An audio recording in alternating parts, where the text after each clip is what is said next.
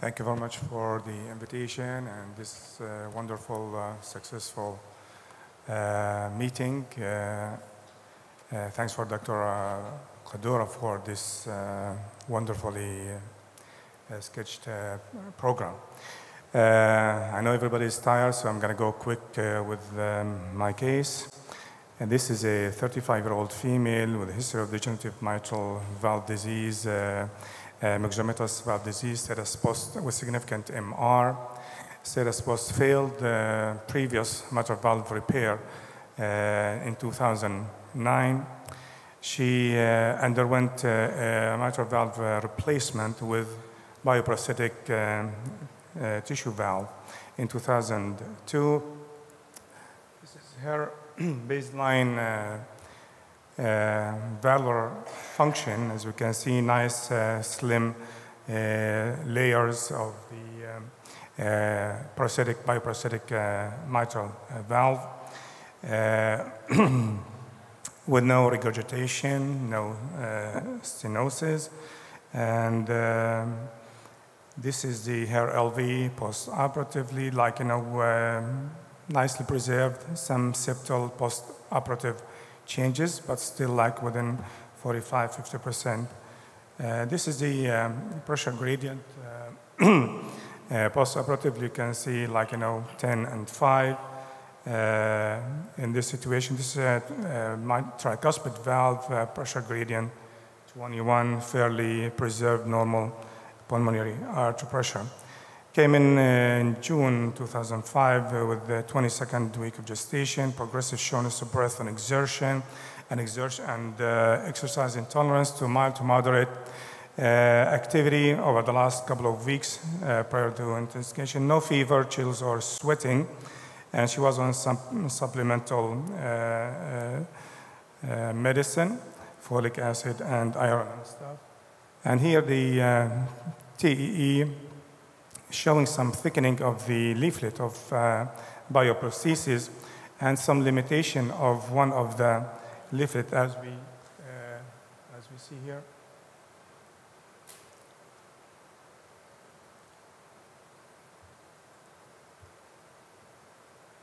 This is uh, with color, as you can see, that there is uh, fair, uh, uh, sorry, there is a fair uh, uh, as we can see, and there is at least uh, three uh, jets of mitral regurgitation. And again, you can see the market limitation of uh, uh, this leaflet and this partial limitation of the leaflet. To better understand it, we did uh, a 3 uh, 3D uh, echo. And as we can see that uh, it seems like, you know, at least partial uh, segments of two of the leaflets at this joint uh, area, it seems like markedly limited with limited uh, uh, act, um, function and pliability. And then halfway, the, the other two are kind of, you know, still preserving movement. You can see here the struts of the bioprosthesis, the three struts. And again, this is um, a ventricular aspect uh, view of the uh, prosthesis. And again, we can see like, you know, half of the uh, two uh, uh, leaflets are not moving, with the other two halves are moving.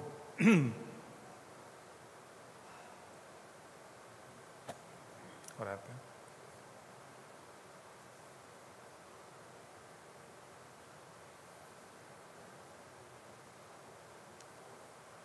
Yeah.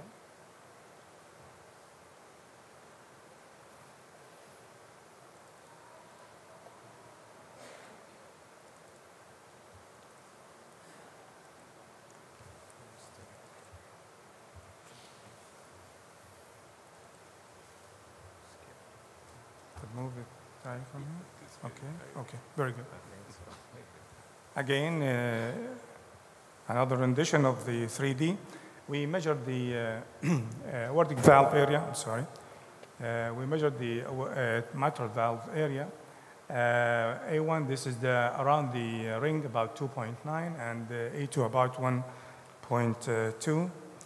The pressure uh, gradient, as we can see here,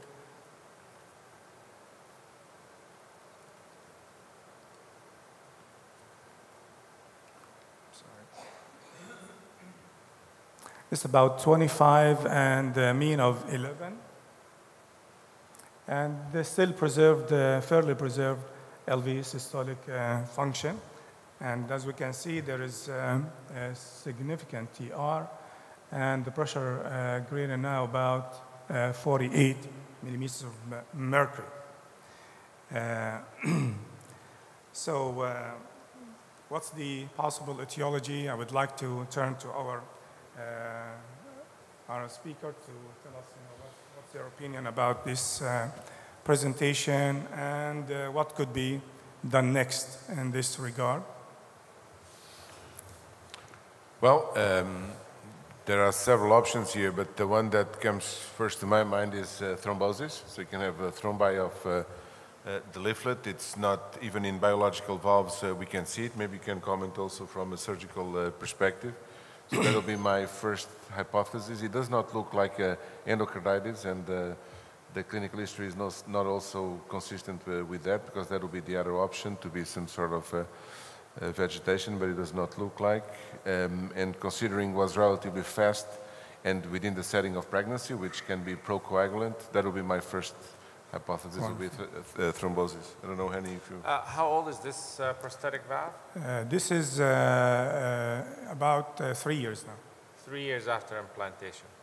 Well, I mean, still, it's early, but we have seen, depends on the type of prosthetic valve, uh, and there have been valves on the market that have been actually withdrawn because of early calcification and degeneration. This can still happen.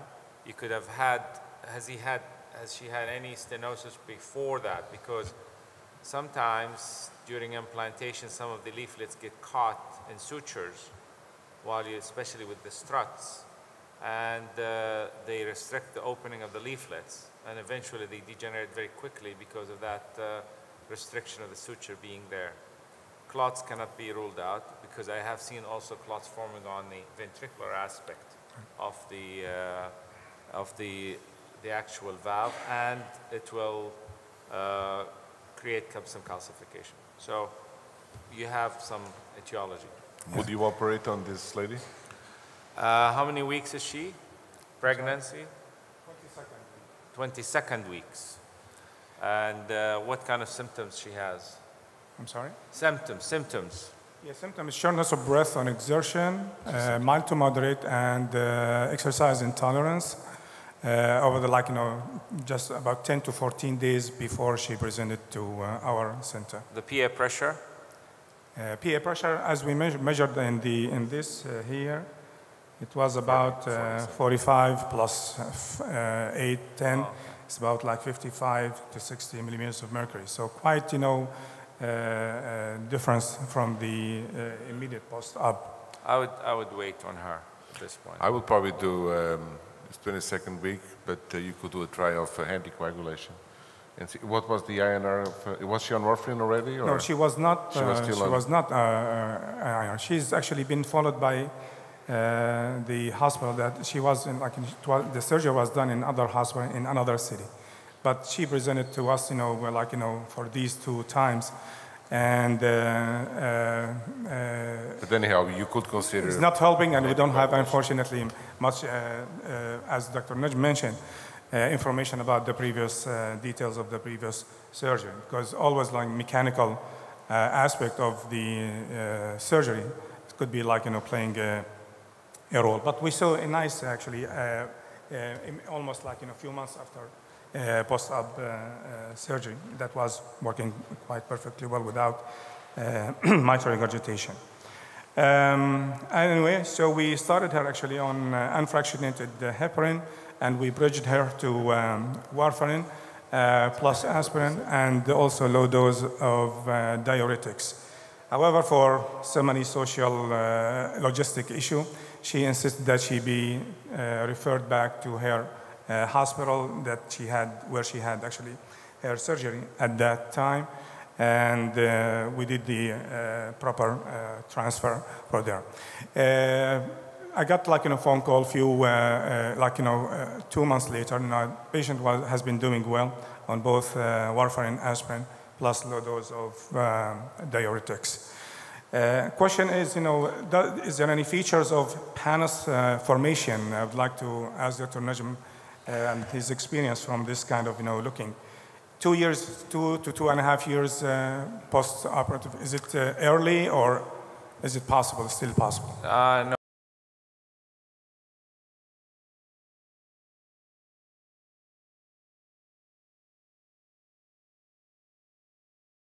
valve, mitral valve replacements. Uh, typically and until now, the recommendation when you do mitral valve replacement is to preserve the posterior leaflet, so you preserve the ventriculo-annular continuity. That means that you're still connecting the papillary muscles to the annulus, and that preserves the ventricular function and dimensions that has been proven scientifically. Now, if you do this for degenerative valve, it's fine. There's nothing wrong with, with that. If you do this for rheumatic valve, that means you're leaving behind a diseased leaflet, which is uh, a primary uh, uh, process that happens in rheumatic uh, valves. And what ends up happening, you end up with calcification because that disease is still there. So you leave that leaflet, and some surgeons went, because of also the evidence, that sometimes you, they there are some papers saying that you could actually leave both the anterior and the posterior. So we split the anterior, tack it up to the annulus, and replace both.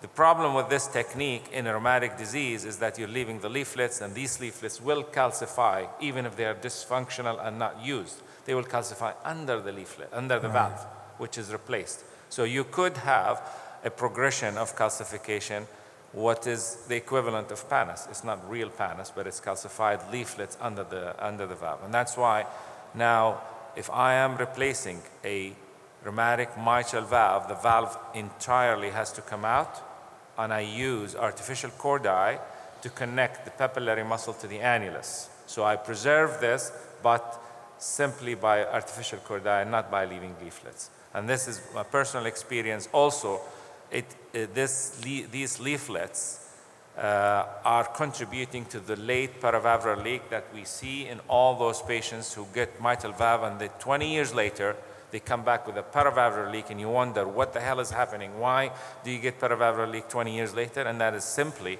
because these calcified leaflets and you know the there's always a calcium turnaround they get resorbed absorbed deposited and so on. This calcium turnaround will create paravalvular leak in this posterior leaflet. And that's why now I think I would take them out. It's a long answer to a short question, but this is my experience and my No, we all benefit from this in-depth uh, review, quick review.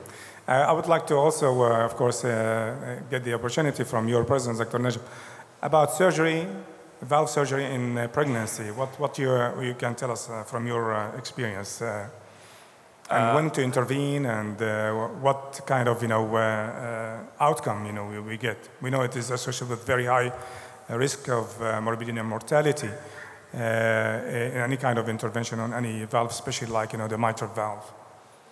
Actually, as a matter of fact, most of the times you can you can actually get the patients to go through pregnancy without interfering with surgery, unless the most of the ones I've operated on were mechanical valves who got thrombosed because the lady decided that she's going to have a baby and she stopped warfarin and then they come with a thrombosed uh, um, uh, valve and we obviously have to take them to surgery to, uh, to operate on them. Shortness of breath most of the time with good cardiology and obstetrics follow-up they are able to get them through pregnancy uh, sometimes with an elective cesarean section and what I do is six weeks later after they have the, uh, the baby, we operate on the, on the valve to uh, whatever, uh, re replace, re repair, whatever we have to do with the valve. Uh, combined procedure, uh, cesarean and valve surgery is, is bad idea, I think. Uh, I don't think there's an indication for this. And you should be able to get through the elective cesarean section on time with the appropriate uh, uh, anesthesia and uh, quick, expeditious extraction. I know did we took good time. This, did you repeat the echo in this patient? No, she, she left and she hasn't come back to us. So you don't have the answer for the final yeah, we don't have the okay. final. But as I told you, she, she's been doing, I talked to the, her doctor that she's doing fine and she's still on medical management. Yeah. Uh, I know that we took uh, lo- lots of time, you know, just about the, um, uh, there's hypercoagulable state of uh, pregnancy, you know, uh, that actually can predispose to rapid deterioration of the, especially bioprosthetic valves, and also potential of thrombo- thrombotic and thromboembolic phenomenons. And that actually depends on the type of the valve, whether it is uh, mitral and or right-sided valve versus, of course, less uh, uh, embolic uh, aortic uh, valve. And also, again, uh, the location and the, and the type, whether it is mechanical or uh, uh, prosthetic. Uh, the clinical feature that actually can predispose more to development of uh, thromboembolic and thrombosis uh, of the valves, actually, uh, history of prior thromboembolic uh, event, atriofib- associated atrial fibrillation, uh, uh, valve in the mitral position, and of course, if there is multiple uh, prosthetic valve and uh, presence of LV dysfunction. As we can see, just we know, we know much about mechanical valve uh, thrombosis, but about like bioprosthetic valve thrombosis. As we can show, the general practice is that uh, patients with um, bioprosthetic, we do, we do not anticoagulate except like for the first three months uh, post-operatively. However, there is still uh, some risk from that. And now there is uh, aspirin now actually surfacing as a recommendation uh, in bioprosthetic uh, valve.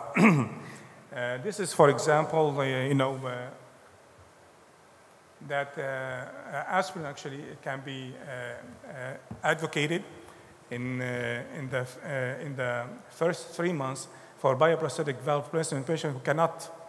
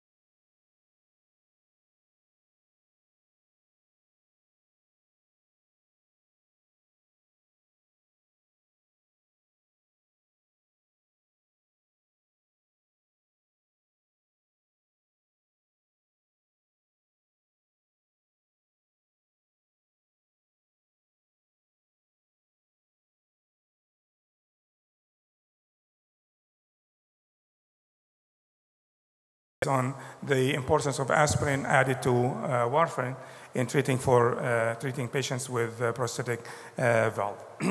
Again, I just want to draw your attention to one study that was done back in 1993, where they actually uh, uh, randomized patients, uh, uh, 370 patients randomized uh, to two groups, actually mechanical and uh, tissue valves, and they were treated with warfarin plus aspirin just across uh, the board.